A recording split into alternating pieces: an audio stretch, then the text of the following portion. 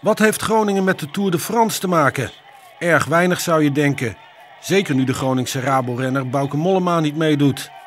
Maar daar denken ze bij de Rijksuniversiteit toch anders over. Daar meten ze voor het tweede achtereenvolgende jaar de klimtijden van de renners in de bergetappes. Het bergklassement in de Tour werkt met een puntensysteem.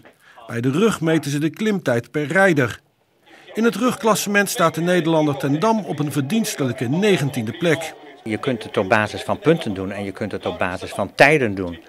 Uh, alleen wij vinden dat, uh, dat de beste klimmer, dat is iemand die het snelst klimt. Hè? Niet iemand die de meeste punten bij elkaar sprokkelt.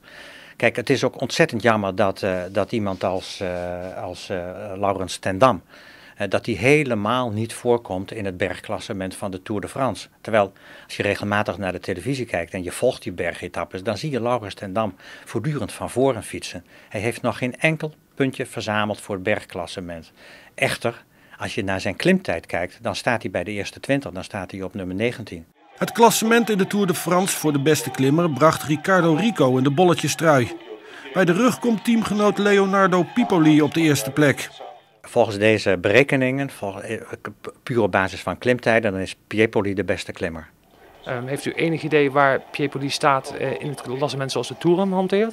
Uh, nou, dat kan ik even kijken. Hij staat uh, volgens het bergklassement staat hij nu op de zesde plaats.